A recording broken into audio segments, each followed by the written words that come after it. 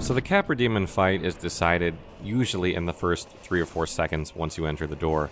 You have to get around the boss and the dogs quickly or you'll get trapped and they'll just gangbang you to death.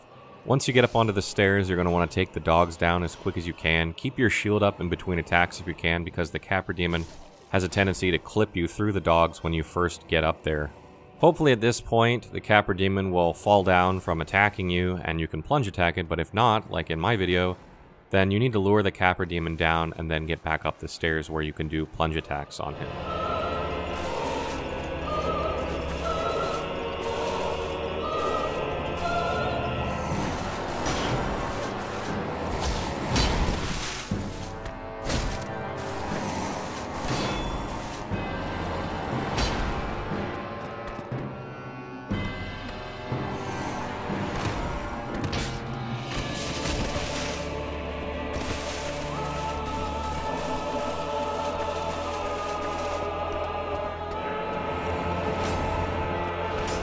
You can see I just repeat this process over and over again, going up the stairs, plunging, attacking, getting out of the way, repeating.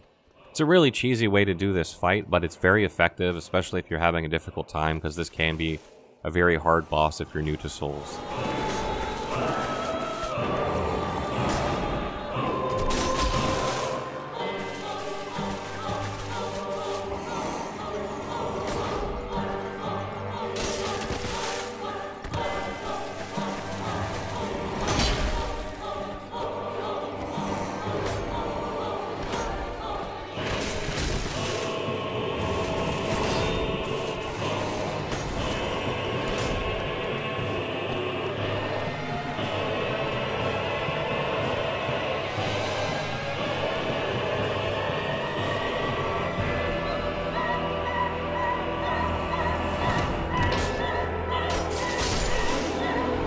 A couple of notes about this fight. The boss is very weak to fire, so using charcoal pine resin or fire bombs works very well.